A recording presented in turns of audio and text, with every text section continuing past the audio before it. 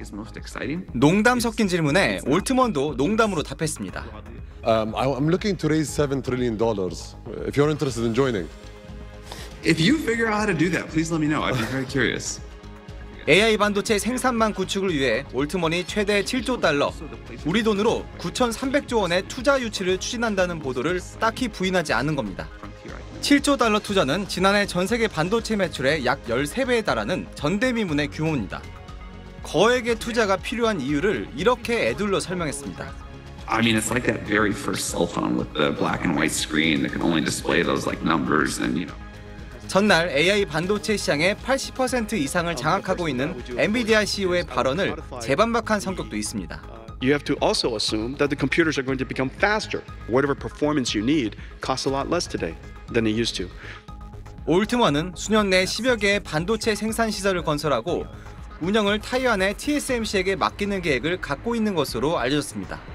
이 계획이 실현되면 AI 반도체 핵심인 고대역폭 메모리 시장을 양분하고 있는 삼성전자와 SK 하이닉스에도 커다란 기회일 수 있다는 예상이 많습니다.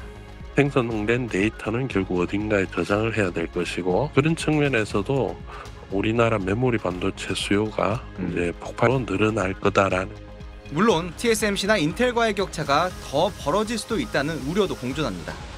AI 반도체 패권 전쟁이 본격화한 가운데 미국 정부가 과연 중동 오일머니를 노리는 올트먼의 전략을 승인할지도 변수라는 시각도 있습니다. SBS 홍영재입니다. 서울 용산의 한 컴퓨터 부품 업체를 찾아 그래픽카드 가격을 물었습니다. 뭐 얼마 정도? 3천만 원 조금 안 하는 금액. 이거 하나에 3천만 원? 네네네. 소형차 한 대 값인 이 제품 바로 미국 반도체 업체 엔비디아의 데이터 센터용 그래픽 카드입니다.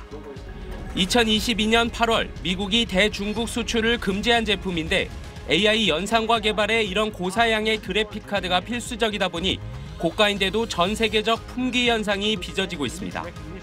국내 기업과 연구기관 등도 제품을 받으려면 몇 개월을 기다려야 합니다. 업계에선 중국이 보따리상 같은 비공식적인 루트로 국내 물량을 쓸어가고 있다는 말까지 나옵니다. 앞서 로이터 통신은 중국이 엔비디아 그래픽 카드를 밀수해 자국 대학과 국영기관에 공급한 정황이 있다고 보도하기도 했습니다. 작년 중반부터 물량이 굉장히 많이 부족했었어요. 원래 2천만 원 정도 초반대 거래되던 가격이었는데 지금은 거의 3천만 원까지 올라와 있는 수준입니다. 생성형 인공지능 챗GPT 구축에 고사양 그래픽 카드가 3만 개 이상 필요하지만 엔비디아가 시장의 90%를 장악한 상황. 챗GPT 개발사인 오픈AI가 자체 AI 반도체를 생산하려는 이유입니다. 삼성전자, SK 하이닉스와 손잡고 공급망을 확대하겠다는 겁니다. 그림도 그리고 글도 쓰고 맞아요. 음악도 하는데 이 성능이 반도체가 결정하니까 반도체가 없으면 경쟁력이 있을 수가 없죠. 테슬라, 마이크로소프트 등 과거 반도체 산업과 직접 연관이 없던 글로벌 기업들도 자체 AI 반도체 생산 경쟁에 뛰어들면서 엔비디아 주도의 판도를 바꾸려는 움직임이 커지고 있습니다. SBS 엄민재입니다. 최 GPT의 아버지 오픈AI의 CEO 샘 올트먼이 금년간 한국을 찾는다고 합니다. 올트먼은 최태원 SK그룹 회장과 경계현 삼성전자 사장을 만나 AI 반도체 공급만 논의를 할 것으로 알려졌습니다. 구글, 마이크로소프트가 AI 반도체 생산에 뛰어들었다는 소식도 들려옵니다. AI 반도체가 무엇이고 왜 중요한지 31년간 삼성전자에서 반도체, 휴대전화를 개발했던 성균관대 김용석 교수에게 물었습니다. AI라고 하는 거는 결국은 이제 학습과 추론 그 두 가지를 이제 해야 되는 건데 그거를 결국을 수행하는 데 있어서 최적화된 그거에 아주 그 그거에 특화된 그런 칩을 우리가 AI 반도체라고 부르는 거거든요. 반도체 산업과 직접 연관이 없던 기업들도 AI 반도체 생산에 뛰어들었습니다. 테슬라 같은 경우가 이제 대표적으로 할수 있는데 거기는 결국 이제 자동차라는 게 이제 자율주행으로 가면서 결국은 이 각종 센서로부터 나오는 그 데이터를 처리를 해야 되는 그런 그, 그 AI 칩이 필요하거든요. AI 반도체에 대한 수요가 폭증하면서 최대 수혜를 받은 곳 바로 미국의 엔비디아입니다.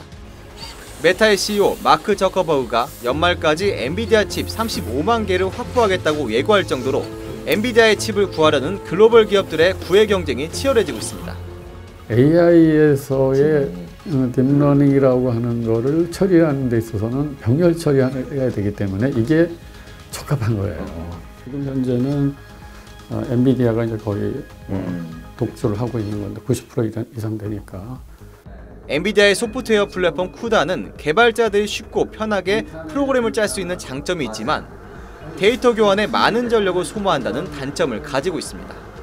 그래서 차세대 AI 반도체를 만드는 스타트업들은 엔비디아와는 다른 방식으로 전력 효율성이 높은 칩을 만드는데 심혈을 기울이고 있습니다.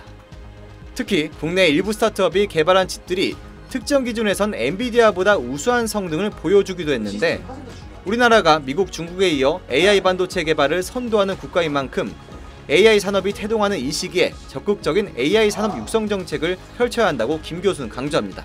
AI 반도체가 결국 성공하려면 이런 그 전체 시스템을 보고 이, 이 과제를 끌고 갈 수 있는 그런 시스템 architect 인력에 대한 육성은 매우 중요하다고 생각이 듭니다. 또 반도체가 상용화 단계까지 가려면 거쳐야 할 난관이 많아 실증 사업이 중요하다고 강조했습니다. 실질적으로 그 칩을 사용할 데이터 센터에서 그걸 계속 먼저 테스트를 해주고 그 다음에 그거의 문제점들을 계속 피드백을 시켜줘야지만 그걸 가지고 계속 보완해 나가고 하는 거거든요. 김 교수는 엔비디아가 이미 장악한 AI 반도체 시장을 개척하는 건 굉장히 어려운 싸움이라면서도 국가적 대응 노력에 따라 글로벌 주도권 경쟁의 성패가 좌우될 것이라고 밝혔습니다. SBS 홍윤재입니다. 인텔의 CEO는 기업들이 온디바이스 AI에 뛰어드는 이유를 세 가지 법칙으로 설명했습니다. You know, the first of, is laws of economics, right? It's cheaper to do it in your device. You bought the device, I'm running it locally, I'm not renting cloud servers to do that. It's on my device. 또 클라우드를 거치는 방식보다 처리 속도가 빠르고 데이터 센터를 지을 땅도 필요 없다는 겁니다. 스마트폰, 가전, 자동차 등 모든 기기에 자체 AI 기능이 탑재되는 건 시간 문제입니다. on-device AI 시장은 2030년엔 지금의 10배에 가까운 230조 원 규모로 급성장할 전망이어서 기업들로선 AI 반도체 개발에 사활을 걸 수밖에 없습니다. 이제 그림도 그리고 글도 쓰고 맞아요. 음악도 하는데 이 성능이 반도체가 결정하니까 스마트폰이나 TV 업체의 운명을 스스로 결정하기 위해서는 자기네 칩이 있어야 되는 거죠. 삼성이 2년 만에 자체 개발한 반도체 엑시노스를 신형 갤럭시 시리즈에 탑재한 것도 미국 퀄컴 의존도를 낮추고 AI 반도체 경쟁력을 끌어올리기 위한 겁니다. 애플은 올 하반기 AI 기능을 갖춘 신형 아이폰을 출시할 계획이고 아마존, 테슬라 같은 글로벌 기업들도 자체 AI 반도체 개발에 착수했습니다. 우리 정부도 최근 팹리스를 집중 육성해 현재 3%인 시스템 반도체 시장 점유율을 2030년까지 10%로 끌어올리겠다고 밝혔습니다. 원하는 제품을 설계해 줄 수 있는 능력 그러한 것들을 팹리스 업체들이 많이 배양을 하게 해야 되고 우수한 인재들이 이제 반도체 산업 쪽에 많이 참여를 해야 된다. 메모리 반도체에 치중된 반도체 생태계의 재구성이 시급해졌습니다. SBS 홍현재입니다.